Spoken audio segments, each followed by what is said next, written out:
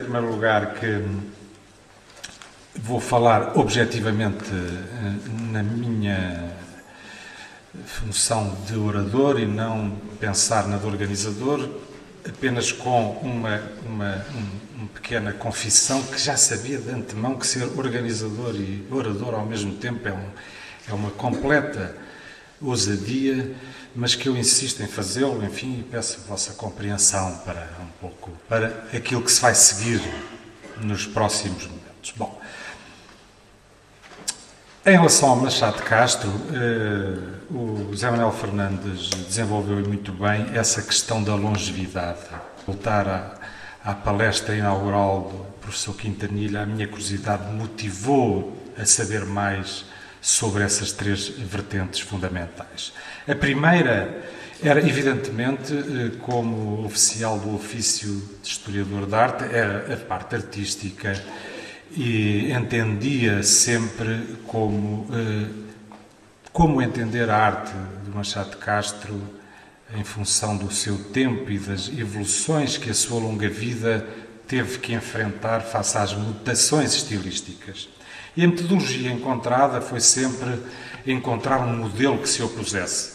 E, portanto, esses três grandes eh, núcleos de questões, a primeira artística, pensei muito no Machado de Castro por oposição ou por complemento aos, ao Aguiar, ao escultor neoclássico que se seguiu. Num segundo aspecto, o aspecto social encontrei outro modelo a quem se pode opor o Machado de Castro, o Bartolomeu da Costa, e um terceiro aspecto que vai ser o objeto do nosso encontro aqui de hoje, do ponto de vista ideológico, encontrei no Domingos Sequeira o exemplo fronteira que se confronta, evidentemente, com o Machado de Castro.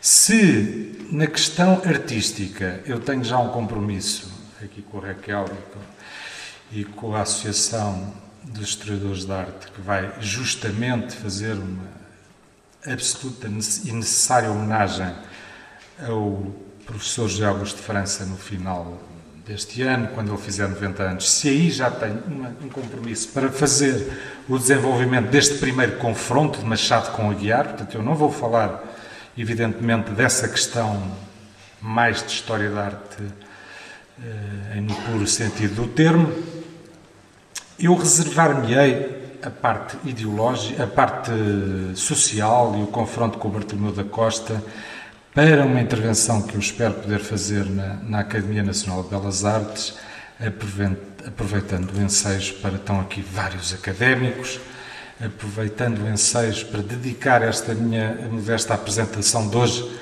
ao mestre Joaquim Correia, uh, o decano dos escultores em Portugal, uh, antigo diretor da Escola de Belas Artes e que faz-nos o favor de estar aqui hoje connosco. Muito obrigado, mestre, uma vez mais por estar aqui connosco. Portanto, se a parte social será entregue, é necessário fazer reviver aquela academia.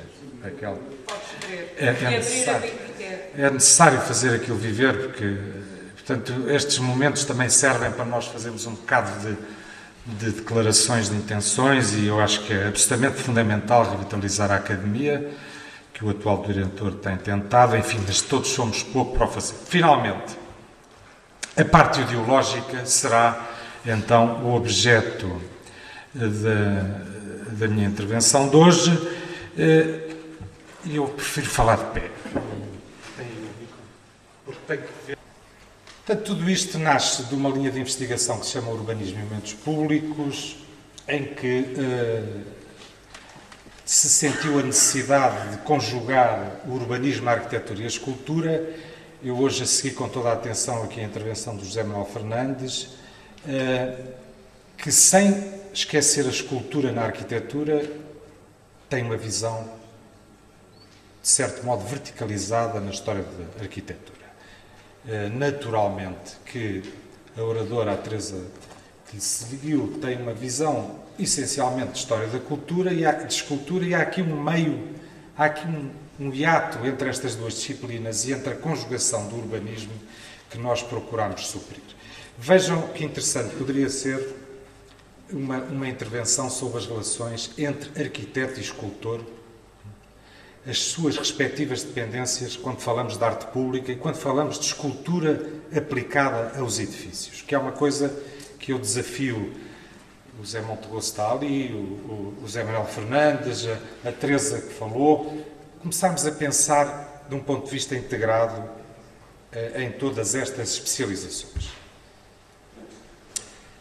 Uh, numa breve sumário sobre aquilo que poderemos fazer hoje, eu insistiria em alguns pontos, como naturalmente este, a arte pública como manifesto político. Um segundo, procurar explicar as razões da sua expressão mínima em Portugal neste período de análise. Um terceiro, uma sinopse sobre os projetos de arte pública, baseado em três conceitos: contraprogramação, secularização, idealização. À falta de melhores nomes, eu procurarei explicar um pouco o que isto é. E, finalmente, aquilo que me parece mais interessante neste tempo, posicionar ideologicamente Castro e Sequeira à luz dos respectivos projetos.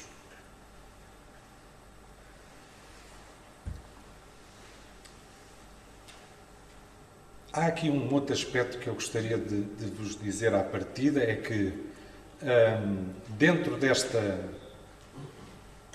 excessiva especialização em que entramos, história da escultura, história da arquitetura, história do urbanismo, há ainda outra vontade uh, que nós temos vindo a desenvolver e falar com os nossos colegas de outras áreas, como a história política, como a história social, que é olharem para as imagens como parte integrante das suas disciplinas. E, portanto, tentar conquistá-los para uma leitura.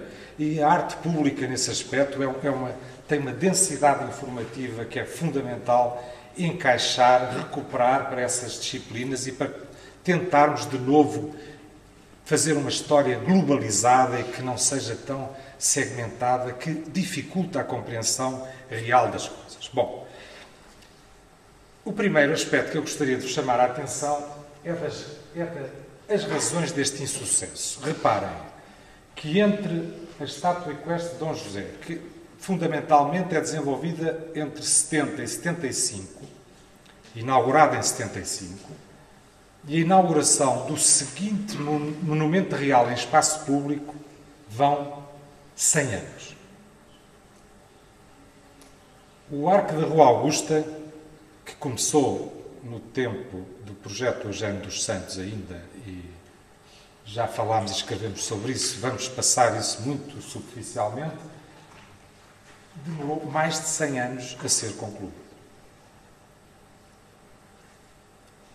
Isto, introduzir este contexto da criptohistória que o Vitor Serrão gosta tanto, teremos que estudar, então, obras que não foram realizadas, foram pensadas, mas não foram concluídas nem postas no seu espaço primitivo.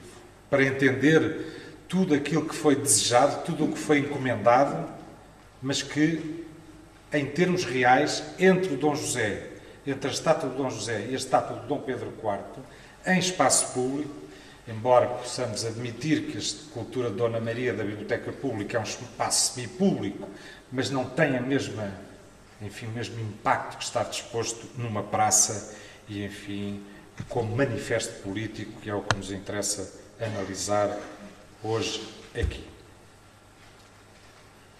Bom, a Margarida Calado trabalhou na sua tese, evidentemente, e a Teresa Leonor Val têm trabalhado muito o período, entre outras, o, o José Fernandes Pereira. Este, este período tem sido muito tratado, mas convém dizer e explicar num minuto que uh, nós não tivemos estátuas equestres em espaço público no tempo de Dom João V porque isso não foi uma prioridade eh, do, da governação do seu tempo. Sobretudo não tivemos não tivemos uma estátua equestre no meio de uma praça, não tivemos o um modelo da Praça Real. Esse modelo não foi uma prioridade para o Dom João V. Agora, a tese da contraprogramação é uma tese defendida pelo historiador alemão André Ziegler, que diz, que diz o seguinte: não só não foi uma prioridade, em alguns países, como foi também rejeitada e, e foi feita uma contraprogramação. E a contraprogramação insistia sobretudo na implantação de mecanismos monumentais em espaço público que continuassem a privilegiar a componente religiosa e a sacralizar o espaço público. Bom, portanto, o que houve efetivamente com o Dom João V, enquanto em França tinha havido a campanha das estátuas, baseada teoricamente no Tratado das Estátuas do Lemay, que foi o primeiro grande instrumento de teorização da plantação destas estátuas como, como manifesto político, enquanto na França se desenvolvia essa campanha das estátuas, Luís XIV, sobretudo, e Luís XV, eh, embora haja eh, eh, exemplos anteriores, o que nós podemos falar um pouco, descair para a blague, é uma campanha dos chafarizes no tempo de Dom João V, relacionados com a, com a, com a grande obra de arte pública, como disse aqui o José Manuel Fernandes, do Aquilto. Ora, o modelo era claramente conhecido em Portugal, não, não, não foi por isso que ele não foi aplicado.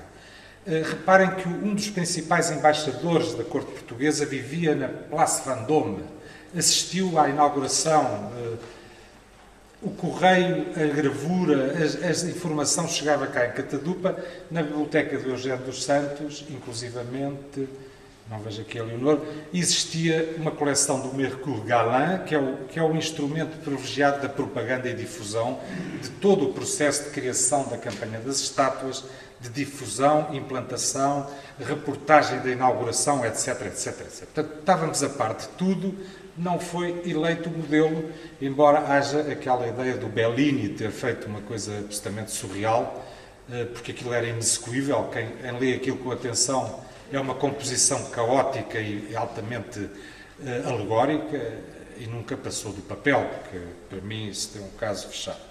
Portanto, os chafarizes do Mardel usam claramente essa imagem, essa, essa linguagem, uh, perfeitamente definida, com estátuas reais, com os escravos acorrentados, os povos vencidos. Nas duas modalidades, a pedestre e equestre. Mas o que ficou efetivamente de Dom João V foi a marca contínua de uma presença sagrada no espaço público. Temos o caso do obelisco das necessidades, que é uma, enfim, erguido em função de uma cura do rei, se bem me recordo. Temos a, escultura do São João Nepomuceno junto da Ponte de Alcântara. Bom, e basicamente há outros projetos que não foram desenvolvidos, mas basicamente, para além da, da parafernália dos chafarizes, é o que resta. Com o Dom José, ontem foi aqui falada nessa tese da, reação à cultura joanina, afastando os artistas. É uma tese curiosa. É uma tese curiosa, foi um bom contributo. Temos que pensar nisso, nestes círculos que se chocam e que se rejeitam, e, eh, e criando assim algumas coisas são difíceis de perceber à primeira vista, mas uh, Curiosamente, a primeira peça de arte pública feita pelo laboratório do Machado Castro não é a estátua equestre. E é uma peça injustamente e muitas vezes esquecida, que é a estátua da fé.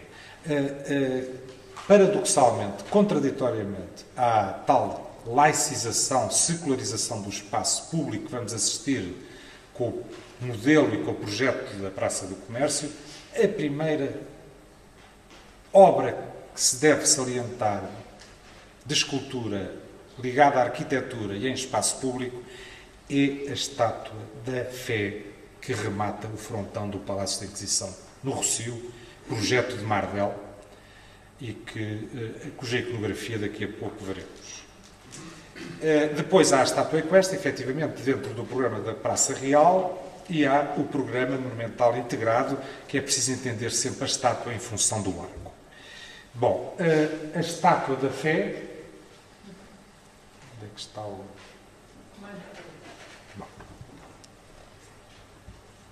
Desapareceu. Não está aqui. Bom, não interessa, vocês veem ainda facilmente. Mesmo junto à, ao extremo esquerdo da imagem, é uma estátua que, em termos de composição, cá está a tal necessidade de conjugarmos o, os, os, as competências do historiador da arquitetura com os da escultura. É um equilibrismo estranho, pelo menos em termos de composição arquitetónica, porque fica lá rematada. Bom, uh, portanto, depois desse conceito da contraprogramação, a Praça Secular de Pombal e de Eugênio dos Santos, uh, desenvolvendo este conceito de sacralização e secularização do, do espaço público, uh, a indefinição do arco triunfal e o compromisso possível do modelo definitivo são aspectos que iremos desenvolver então em seguida.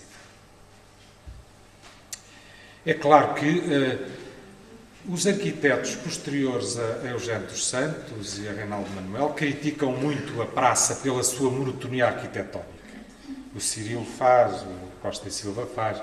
E nessa monotonia, uh, onde não há uma uma hierarquia da arquitetura construída, tirando os torreões, e recordo que um deles ficou por concluir ad eterno até, até à década de 20 do século XIX, pelo menos. Eh, nessa monotonia, a escultura tinha ainda um aspecto mais importante como elemento simbólico e como difusor de uma linguagem importante na fixação de uma mensagem ideológica. Já se sabe dessa querela da inspiração do Arco Lebrun difundido pela arquitetura Françoise do Blondel, não vamos perder tempo com isso, do, do projeto original com o leão debaixo do cavalo, da maquete do projeto original que está na, na magnífica exposição que aqui o museu tem exposta, nas, nos possíveis e impossíveis e, e, e, vários modelos que é preciso ter presente para perceber a opção de quem decidiu qual era o modelo iconográfico. Isto é uma, é uma pintura que está em Versalhes do, do jovem Luís XIV e, portanto, há, há, a tese da Charlotte que ontem apresentou do Luís XIII. Temos que perceber que a linguagem passou também para Luís XIV. Finalmente, o projeto do arco de, de, de, do início deste debate, em que o projeto original, que está assinado pelo Pombal, não incluía nenhum elemento religioso. Nos nichos, nós podemos surpreender Mercúrio e Hércules, que dão um sentido consolidado à toponímia da praça, Praça do Comércio. Tudo isto fazia um raccord que é importante salientar, mas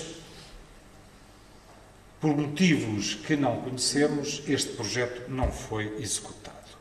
Na conhecida pintura do Van Loo que, que podemos ver, eh, há aqui um facto que, que é muito interessante, que é lá está o modelo da estátua, antigo, ainda com o leão debaixo do cavalo, mas aqui está o alçado, o alçado norte da praça, aonde estrategicamente o arco está oculto.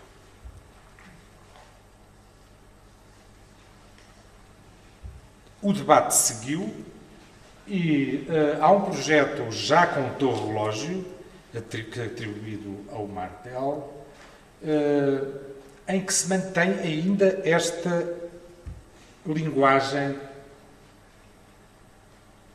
Aqui continuamos a ver o Mercúrio e aqui continuamos a ver o Hércules. Mas eles já perderam a dianteira, da, já perderam o protagonismo de estarem na posição voltada ao Tejo, onde estão duas famas agora e, portanto, continuava a evolução do projeto até que chega ao projeto que reintroduz um certo, uma certa nota religiosa com as esculturas das virtudes que o Machado de Castro diz ter começado a modelar. Portanto, este, efetivamente, deve ter sido o projeto definitivo para a praça, a conjugação do conjunto do monumento central com a escultura dos grupos laterais, com as virtudes associadas, embora associadas ao rei, como características enfim, da sua, do seu mandato real, mas reintroduz uma nota sacralizante no espaço que estava completamente ausente no projeto inicial. Bom, claro que esta, esta indefinição levou a que o arco não fosse concluído eh, em tempo e depois, com a, com a passagem de reinado, Dona Maria concentrou-se, como é conhecido, na estrela e esqueceu este espaço. Portanto, eu não sei quanto tempo é que já gastei. Agora tens oito minutos. Bem, Ora bem, o contributo de Machado de Castro, eh, como já foi aqui dito, o projeto monumental não é dele. É um projeto que ele teve que adotar, foi obrigado a isso, conseguiu introduzir algumas alterações, já foi aqui falado, não vamos insistir nisso, vamos só insistir nas críticas. Primeira crítica. É um monumento que não celebra a ação principal, que é a da reconstrução da cidade. Essa é uma crítica que o Machado de Castro insiste nela. Por outro lado, eh, considera completamente desadequada a forma e não a essência da alegoria dos quatro partes do mundo, como já aqui também foi dito. Contestando que seres irracionais, eh, representando continentes, blá, blá, blá. Ora, é precisamente na única, portanto, isto é, é o modelo, é um modelo que não, que não, que tem algumas eh, excentricidades relativamente ao modelo francês, nomeadamente o pedestal é muito elevado, foi claramente feito para ser visto ao longe e para ser visto do Tejo, é um monumento que apenas tem uma leitura frontal, contrariamente à maioria dos monumentos franceses, que tem uma, uma leitura rotativa que se pretende ler as esculturas auxiliares andando à volta do monumento, é um monumento portal. Ele faz uma, uma composição integrada com o arco, não foi concluído na sua altura, mas é preciso entendê-lo nessa perspectiva. Cá está o, o monumento voltado de costas à cidade, ele não é para ser visto deste lado, não é a prioridade. Enfim, cá estão. Vamos acelerar, que isto já foi muito visto, apenas uma nota sobre uh, a incapacidade do Machado de Castro fazer o retrato do rei na sua presença, levou a fazer o retrato a partir de uma gravura e de uma moeda, que é um bocado caricato, mas foi verdade, uh, e o episódio das mãos que deram origem ao logótipo deste colóquio, que não podendo o Machado Castro uh, desenhar e moldar as mãos do rei, fez o molde das suas próprias mãos e, portanto, as mãos que estão na escultura do Dom José são as mãos do Machado Castro. Eu acho isso, dentro da lógica do Ancien Regime, uma ousadia total.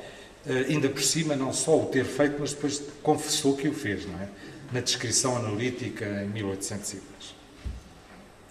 Mas é no baixo relevo que se reintroduz a ação principal da reconstrução da cidade que mais se salienta o ponto de vista ideológico do Machado de Castro. É a sua, é o seu toque no conjunto. E o toque do conjunto, ele diz: optei por fazer uma composição de estilo alegórico, porque se fosse um tema de história, tinha que introduzir agentes plebeus na composição. E agentes plebeus numa estátua real Portanto, estamos num tempo em que, e, e lembrando a, a, comunicação ontem da, da Erika Nadzinski, estamos num tempo em que o povo, e isto é muito interessante, quando é que o povo chega aos momentos públicos portugueses? É bom pensarmos nisto. quando, no caso francês, ele já chega com o Pigalle na sua própria representação, que aqui foi também mostrada, que é contemporâneo deste monumento. Portanto, há aqui, há aqui um desfazamento que é interessante pensarmos nisso. Ora, não só iluminou o elemento plebeu, como iluminou também os deuses. Que ele diz: também não vou recorrer aos deuses, porque Camões foi muito criticado por isso. Portanto, nem deuses nem plebeus é uma mensagem muito interessante para definir, à partida, o posicionamento ideológico do Machado de Castro. Seria interessante fazer uma comparação com outro monumento. Este é o monumento é o grande incêndio de Londres, tem praticamente um século antes, mas nós não vamos ter tempo para isso. Evidentemente que aqui a ação principal do monumento é esta, não há uma divagação como há no Monumento do Terreiro do Passo, onde é claramente um manifesto político, foi entendido como isso e muito mais foi no âmbito da, da, da reconstrução da cidade, foi mais importante, não sei o que é que fiz aqui, vê lá, uh, foi mais importante celebrar esse novo culto real do que efetivamente deixar uma memória daquilo que estava a ser feito. Portanto, Indo ao posicionamento ideológico de Machado de Castro, muito rapidamente, temos os seguintes tópicos para analisar. Para já, a defesa do modelo Luís XV na escultura real. Portanto, a passagem do modelo que ele rejeita, que é o modelo que lhe é imposto, da estátua equestre, do rei militar com armadura, etc., etc., para o modelo do bem amado que ele vai recuperar para as esculturas que se seguem. Depois, claramente, um homem do antigo regime. Depois, um defensor da religião, que tem a ver com o antigo regime, naturalmente. Depois, um homem que temeu, depois da Revolução Francesa, que a vaga iconoclasta destruísse as suas obras. E acabou por destruir aquela que ele não imaginava que fosse destruída, como veremos mais adiante. Depois, um defensor do estatuto social da arte e do artista. O modelo do Dom José já apiado, que não foi feito e que já aqui foi falado, e o modelo da Dona Maria, a escultura que está na Biblioteca Nacional, em que o bastão já é representado de outra maneira, não numa forma impositiva a Luís XIV, como é na estátua do Terreiro do Passo, e a mão é uma mão protetora É uma mão, não vamos ler isto tudo, não temos tempo, mas simbolizando a autoridade superior e pacífica, sem pegar de modo que indique atividade, mas sem sossego e doçura, e com a mão direita mostra estar protegendo os seus domínios nas quatro, quatro partes do mundo. Portanto, isto é tipicamente o elemento que condiciona e define a mudança dos monumentos de Luís XIV a Luís XV. O Machado estava perfeitamente informado dessa mudança, a descrição analítica é clara nas descrições que ele faz, ele adota, evidentemente, o modelo Luís XV. Depois, o temor à religião e à Inquisição. É? Este é, é, numa outra obra dele, na análise grafortoxa, em que ele tenta impor uma iconografia de dois anjos numa anunciação para a Igreja da Encarnação, ele defende esse aspecto, mas há prudência isso tudo o que tenho dito, isso tudo o que tenho escrito, ou houver ainda de escrever, se achar algum pensamento ou palavra que desdiga desta confissão que faço agora, que é a sua obediência à Santa Madre Igreja, é? o dito protestante, desde já o retrato e o dou por não escrito. Portanto, todo este cuidado na sua relação com a religião é muito importante. Mas aquilo que é mais interessante é quando ele define o seu conceito de nu.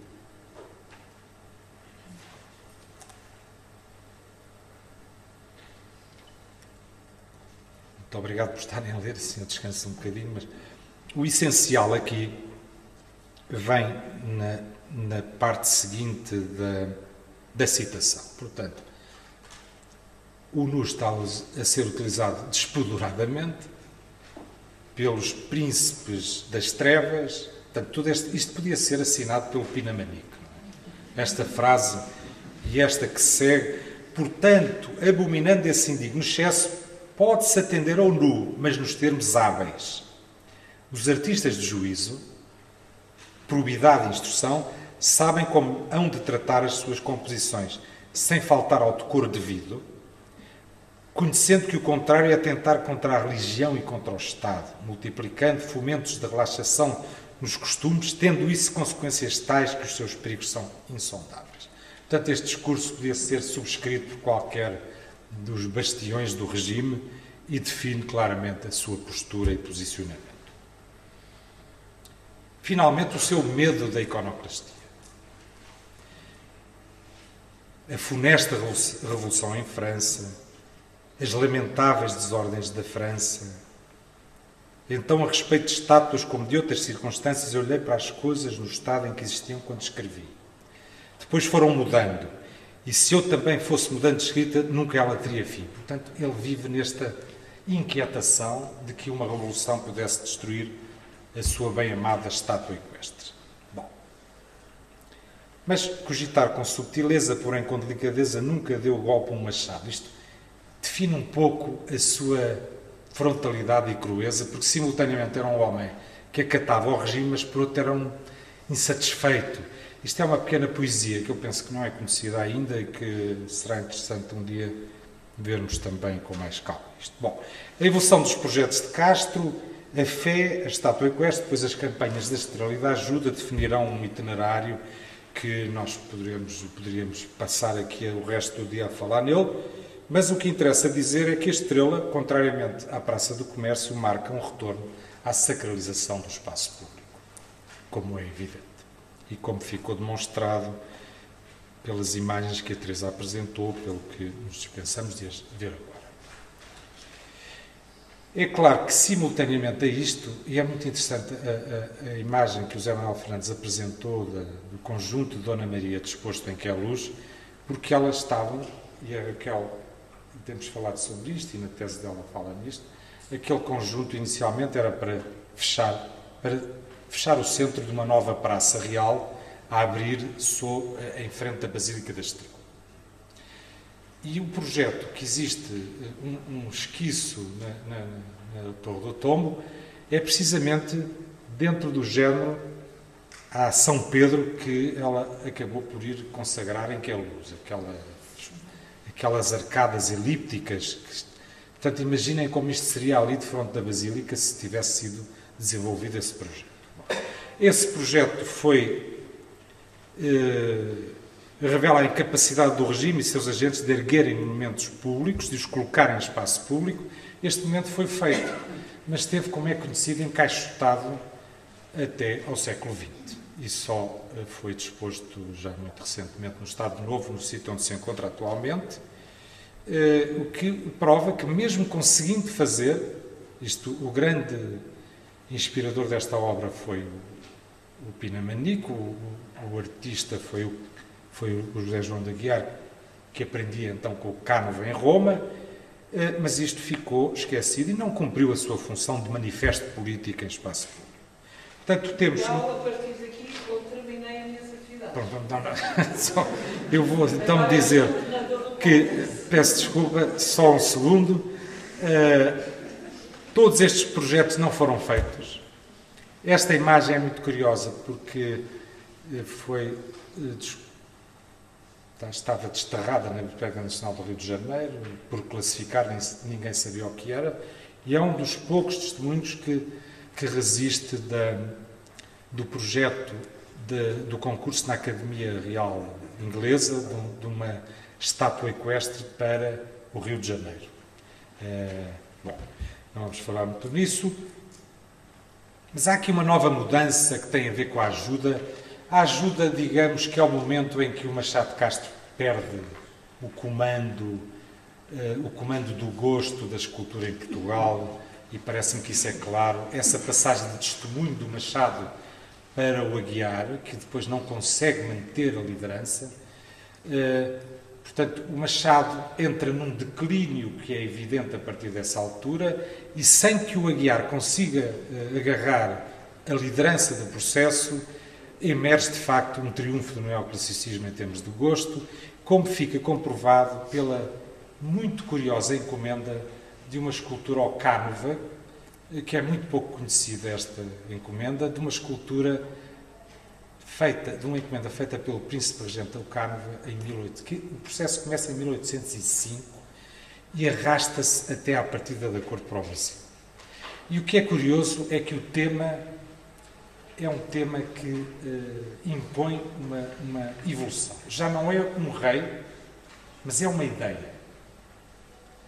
Portanto, nós vimos aqui esta, esta, função, esta, esta evolução da sacralização para a laicização e agora passamos, uma, era uma laicização eh, desenvolvida em torno da imagem real e agora passamos a uma nova etapa dessa laicização através da disposição de ideais, de princípios no espaço público, que é outra coisa. Portanto, e o que é muito curioso é que na iminência das invasões e na fase conturbada em que se vivia, o príncipe regente e a sua entourage tenham insistido na encomenda, imagine-se, de um gênio da independência nacional, que era a figura central, tinha depois um conjunto de, de esculturas alegóricas à sua volta, e o Cánova responde: sim, senhor, aceito, leve três anos a fazer. Uh, mas este tema não tem, não tem fontes para este tema, porque ele não existe, na, não consigo encontrar paralelos na escultura clássica. Porque não se pode confundir com o género da liberdade. Bom, é muito interessante, fica para novembro, porque é Cânova e pode ser associado. Ah, antes disso, ainda há outra coisa que é. Ainda há outra tentativa de, de pedido de uma encomenda ao Cânova de uma estátua a Camões. Outra vez ideais nacionais, ideais dos grandes homens que podem resumir eh, os princípios nacionais e não uma estátua real, o que é uma coisa que merece ser refletida. Bom, e aparece um gênio da nação, feito pelo Sequeira, que tem muito a ver com a descrição do projeto que o Cánova propõe. Hum? Isto mereceria um outro tratamento, mas nós estamos muito atrasados e eu vou acabar muito rapidamente por dizer o seguinte. Veio efetivamente o vintismo,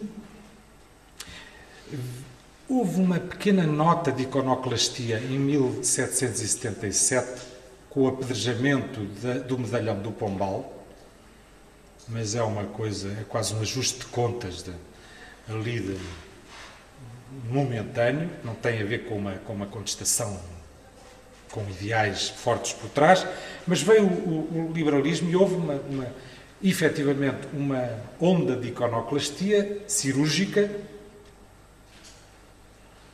foi a da destruição, imagine-se, da fé da Inquisição.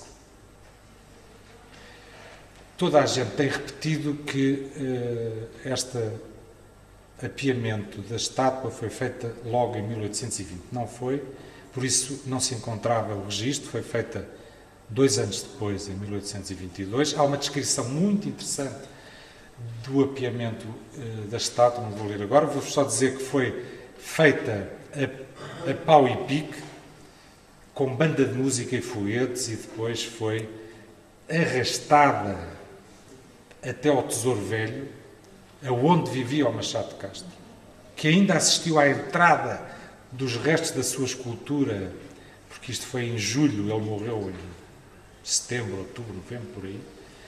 Uh, e é a nota.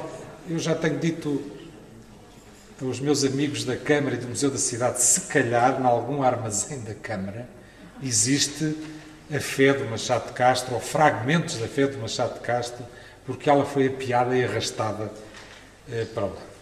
Portanto, este foi um dos motivos que me levou a a não perceber o que é que estava a passar, porque havia aqui uma contradição de datas. Esta é a entrada, já em outubro de 1820, da Junta Profissional do Governo Supremo do Rei, ainda lá está a estátua da fé, portanto ainda não tinha sido apiada. Mas na, merece que eh, façamos uma reflexão sobre o que foi destruído no vintismo. A estátua real ficou sossegada quando em França foram destruídas por decreto, todas. A nossa foi poupada, isto também nos dá um pouco a visão do nosso país. Bom, e, foi, e aí inicia-se aquilo que eu chamaria a Batalha pelo Rocio, que é onde entra o Sequeira neste processo. O Sequeira, o, Congresso adota a construção do monumento não a um rei, mas à Constituição. Há quatro candidatos, a, a, a que vence é naturalmente do Sequeira, eh, e o Sequeira assume, sai, enfim, do armário e assume definitivamente a sua condição de liberal. Aqui está o projeto do Sequeira. É um projeto muito simples. Aqui está. Aqui? Não, aqui não.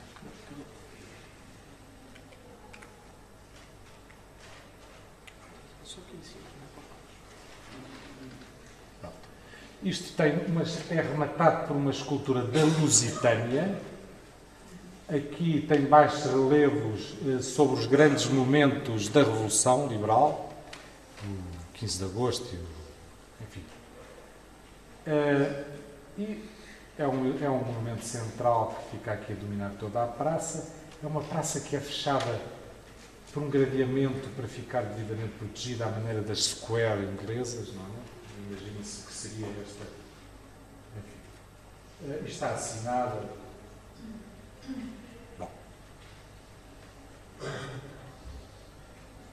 Bom. O Sequeira e a escultura. O Sequeira estudou em Roma, teve acesso a toda aquela monumentalidade da escultura romana, arqueológica ou não.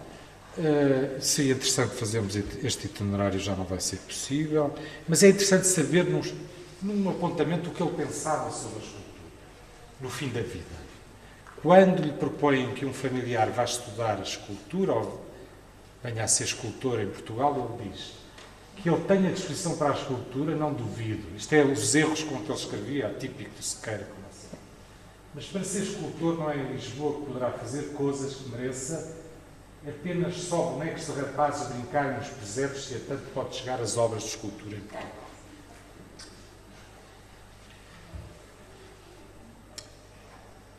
Depois demonstram naturalmente a cultura de um observador. De, eh, ele aqui está a dizer o mesmo que o Sally diz sobre os momentos reais e, e sobre a, a, pouca flexibilidade na definição do trabalho que o artista pode fazer. Portanto, eh, no fim da vida, ele está a fazer uma, um projeto de uma escultura, já estando em Roma para o Dom Pedro IV eh, não sei o quê, nessa altura ainda imperador do Brasil, muitas ideias me ocorreram, mas todas filhas da monotonia vulgar com que se representam os soberanos em estátuas. Portanto, ele tinha esta ideia, este ainda é mais desenvolvido, não vamos repetir, mas fundamentalmente o que é que vemos no trajeto tentando definir o posicionamento ideológico do Sequeira?